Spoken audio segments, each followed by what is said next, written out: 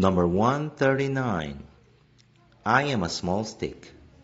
I am made of wood. I have a slender, short body.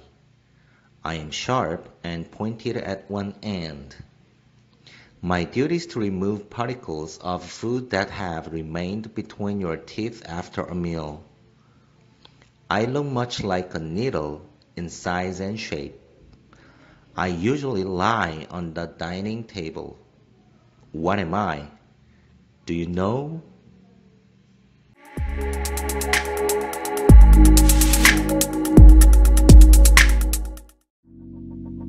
Body go. High.